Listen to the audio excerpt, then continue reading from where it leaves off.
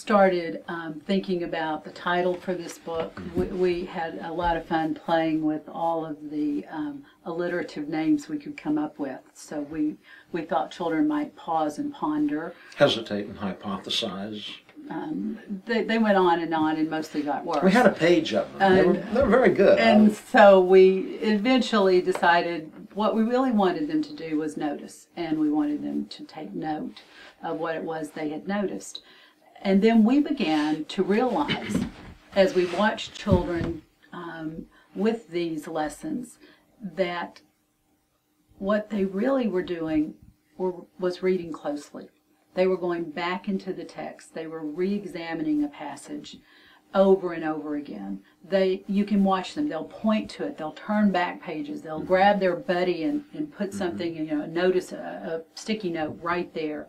So that the close reading they were doing matched exactly what emerged at the same time, though there was no plan, through the Common Core State Standards in saying we really have to create kids who can go off um, to college or ready for a career, able to do close reading. Um, we happen to think that you become a close reader um, through habits you develop internally more than um, through a series of questions that teachers might take you through.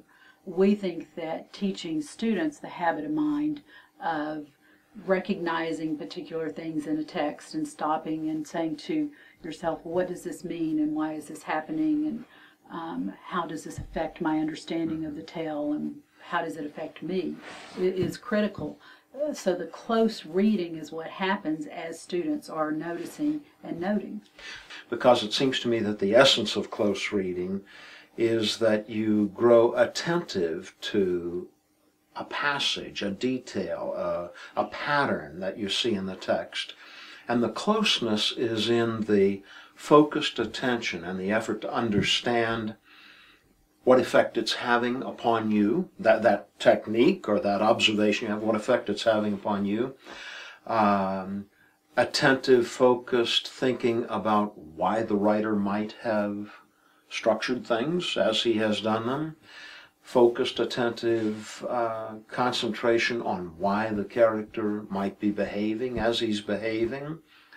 Um, the closeness is in the well, the closeness is in the engagement, it seems to me. Unfortunately, some of the efforts to get kids to read closely disengage them.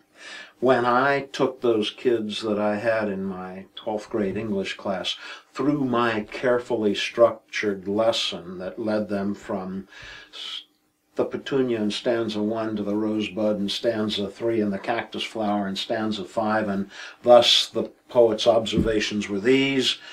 Uh, I thought I was doing close reading with them because I was taking them through an intense analysis. But what I had neglected was they weren't attentive, focused, and engaged, uh, except insofar as they submitted to my control.